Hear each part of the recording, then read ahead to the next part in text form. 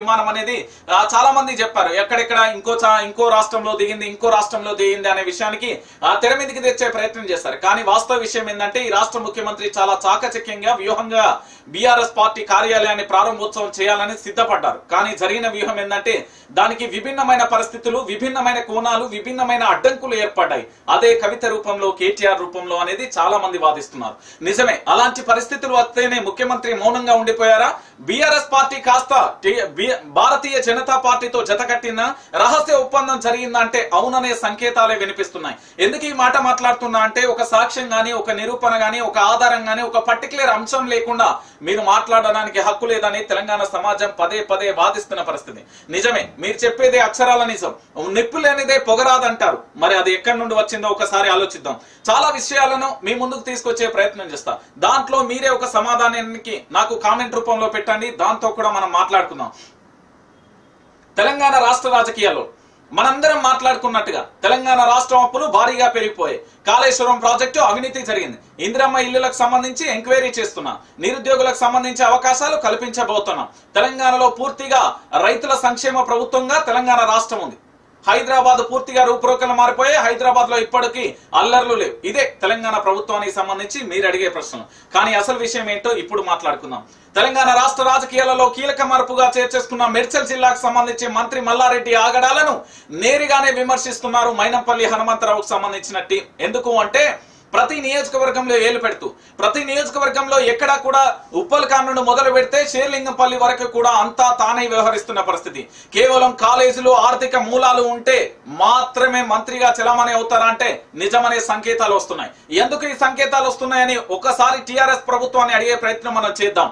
ఎందుకు ఈ సంకేతాలు వస్తున్నాయంటే వాస్తవ విషయాలు పరిగణలోకి తీసుకొచ్చే ప్రయత్నాన్ని మీకు చేయబోతున్నాను నిజమే ఎందుకు మంత్రి మల్లారెడ్డి అంత ఆగడాలు చేసిన టీఆర్ఎస్ ప్రభుత్వం ఎందుకు చర్యలు తీసుకోవట్లేదు అంటే దాంట్లో నిజాలు లేకపోలేదు.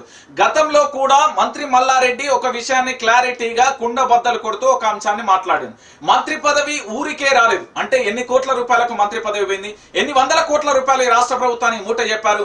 అందుకే ఎమ్మెల్యేలను లెక్క చేయకుండా ఎమ్మెల్యేలకు ప్రోటోకాల్ ఇవ్వకుండా ఎమ్మెల్యేలకు సంబంధించిన సమాచారాన్ని అందించలేకుండా ఆ నియోజకవర్గాలలో మీరు ఎట్లా ఏలు పెడతారు అని అడుగుతున్నారు మిగతా ఐదుగురు ఎమ్మెల్యేలు. ఎందుకు ఈ మాట మాట్లాడుతున్నానంటే జిల్లా మంత్రిపై అసంతృప్తి కాదు.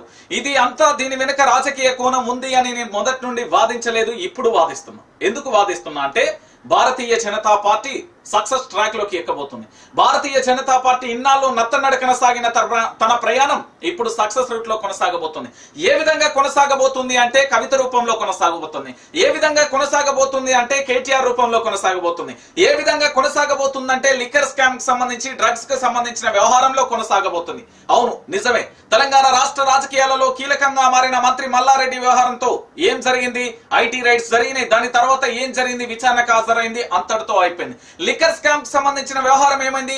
ఢిల్లీకి సంబంధించిన వాళ్ళు సిబిఐ అధికారులు వచ్చారు విచారణ చేశారు. భవిష్యత్తులో మీరు పూర్తి స్థాయిలో కూడా అక్కడ ఢిల్లీ ఆఫీస్కి వెళ్ళాలి. నైన్టీ వన్ సిఆర్పి కింద అక్కడ మీరు సాక్ష్యాధారాలను సబ్మిట్ చేయాలి అని చెప్పడం ఆ తర్వాత మళ్ళీ భవిష్యత్తులో కూడా పిలిస్తే మీరు ఖచ్చితంగా రావాలి.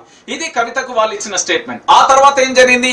ఈడీ ఎన్ఫోర్స్మెంట్ ఆఫ్ డైరెక్టరేట్ అంటే కేంద్రానికి సంబంధించిన ఈ సంస్థ భవిష్యత్తులో మిమ్మల్ని విచారణ చేయడానికి మేము వస్తామని చెప్పింది. కానీ ఇప్పటి వరకు కనిపించలేదు. ఇక డ్రగ్స్ వ్యవహారం. రకుల్ ప్రీతి సింగ్ పైలట్ రోహిత్ రెడ్డి ఫామ్ హౌస్లో ఏం జరిగింది?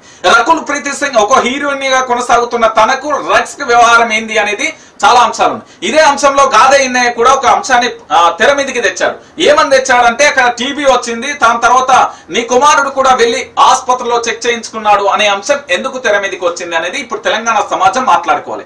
ఓకే డ్రగ్స్ వ్యవహారం గతంలో కూడా ఒక సంచలనంగా మారింది. ఆ తర్వాత కేసు పూర్తిగా క్లోజ్ అయిపోయిన పరిస్థితి మనం చూస్తాం. మళ్ళీ ఇప్పుడు తెర మీదకి ఎందుకు ఓపెన్ అయ్యేది అనేది మరో అంశం. పైలట్ రోహిత్ రెడ్డి ఫామ్ హౌస్లో ఏం జరుగుతుంది? తెలంగాణ రాష్ట్ర రాజకీయాలలో ఏం జరుగుతుంది అనే అంశం కంటే విభిన్నమైన ఆరోపణలే వస్తున్నాయి. వందల కోట్ల రూపాయలు వీళ్ళకి ఎక్కడి నుండి వస్తున్నాయి? నిజంగా ఎమ్మెల్యేలు కార్యకర్తల కోసం పనిచేయలేకపోతున్నారా? ఇక్కడ మెడ్చల్ మా- మార్కెట్ కమిటీ చైర్మన్ పదవి ఇవ్వలేకపోతున్నారా? అందుకే రహస్య భేటీ అని ఇప్పుడు కోడైకి వస్తున్నాయి ఈ మీడియా సంస్థను మాట్లాడుతున్నాయి. దాంట్లో నేను కూడా భాగమే నువ్వు కూడా అట్లా ఎట్లా మాట్లాడుతావు అంటే ఇక్కడ వేరున్నది కథ.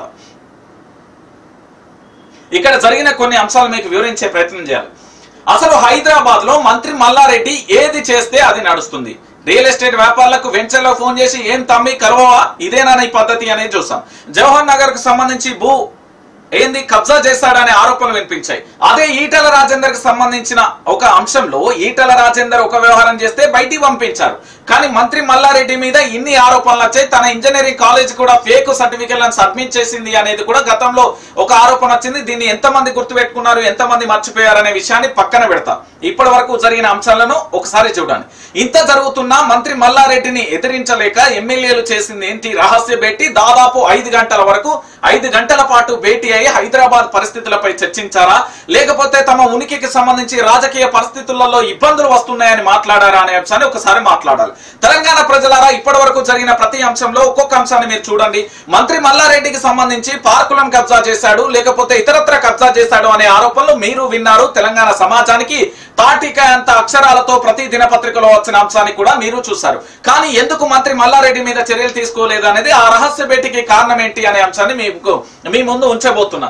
రహస్య భేటీలో కారణాలు చాలా ఉన్నాయి. ఈ ఐదుగురు ఎమ్మెల్యేలు చేసేది ఏంటి అంటే హైదరాబాద్ మా చేతిలో లేదు పూర్తి స్థాయిలో కేటీఆర్ గాని లేకపోతే మంత్రి మల్లారెడ్డి చేతిలో మాత్రమే నడుస్తుంది అనేది వాళ్ళ అంశం. వాళ్ళ నియోజకవర్గాలలో వాళ్ళు కోట్ల రూపాయలు ఖర్చు పెట్టి అక్కడ కార్యకర్తలకు న్యాయం చేయలేకపోతాం పదవులు ఇస్తామని మొదటి నుండే చెప్పాం కానీ ఇప్పుడు ఇవ్వలేకపోతున్నాం. కార్పొరేటర్లకు కూడా కనీసం సహాయం చేయలేకపోతున్నాం. అన్నింటిలో మంత్రి మల్లారెడ్డి హస్తం ఉంటుంది అనేది వాళ్ళు వాదిస్తున్న పరిస్థితి. కానీ ఈ విషయాన్ని ఒక్క నిమిషం పక్కన పెడితే ఈటల రాజేందర్ రాజగోపాల్ రెడ్డి ఇక్కడ ఈటల రాజేందర్ ఎందుకు స్తబ్దంగా సైలెంట్గా ఉన్నాడు అనే అంశం ఇప్పుడు తెర మీదకి తీసుకొద్దాం. వీళ్ళని ఇట్లనే ఉంచుతాం. ఈ ఐదుగురు ఎమ్మెల్యేలు ఐదు గంటల పాటు ఎందుకు చర్చించారనే విషయాన్ని నేను మాట్లాడాలి. ఈ ఐదుగురు ఎమ్మెల్యేలు ఐదు గంటల పాటు మంత్రి మల్లారెడ్డిని బయటికి వెళ్ళగొట్టడానికి ప్రయత్నం చేశారా? పంపించేందుకే కేసీఆర్ ఒక కుట్ర చేశారా? లేకపోతే మంత్రి మల్లారెడ్డి ఐటీ దాడులు జరిగిన తర్వాత భారతీయ జనతా పార్టీతో ఏమన్నా ఒప్పందం చేసుకున్నారా? అందుకోసమే వీళ్ళు ఐదుగురు ఐదు గంటల పాటు రహస్య భేటీ అయ్యారా? దీన్ని కేసీఆర్ గారే వెనుక ఉండి అంటే ఒక బీఆర్ఎస్ పార్టీ వెనుక ఉండి ఎవరైనా నడిపిస్తున్నారా అనేది ఒక అంశం. ఇక రెండో అంశం. దీంట్లో ఒక విభిన్నమైన కోణం కూడా ఉంది తెలంగాణ ప్రజలారా. దీంట్లో అసలు విషయం ఏంటంటే ఈ ఐదుగురు ఎమ్మెల్యేలు భారతీయ జనతా పార్టీకి ఏమన్నా మారే ఆలోచనలో ఉన్నారు? ఎందుకంటే భవిష్యత్తులో తెలంగాణ ప్రాంతంలో జరుగుతున్న గతంలో జరిగినాయి ప్రస్తుతం జరుగుతున్నాయి భవిష్యత్తులో కూడా జరుగుతాయి.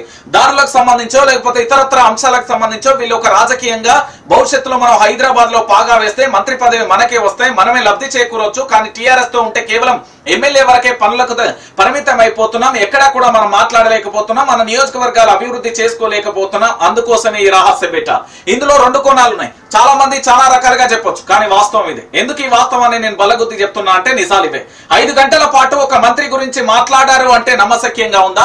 ఐదు గంటల పాటు కేవలం కేటీఆర్కు మేము వివరిస్తామంటే ఇదే ఐదు గంటలలో ఐదు నిమిషాలు కేటీఆర్ అపాయింట్మెంట్ లేదా ఈ రాష్ట్ర ముఖ్యమంత్రి కల్వకుంట్ల చంద్రశేఖరరావు బీఆర్ఎస్ పార్టీ కోరించడం ఢిల్లీకి వెళ్ళి హైదరాబాద్కు వచ్చింది కదా? అపాయింట్మెంట్ అడిగితే ఎమ్మెల్యేలకు ఇవ్వలేదా? ఈ ఐదు గంటల పాటు రహస్య భేటీ దేనికి సంకేతం?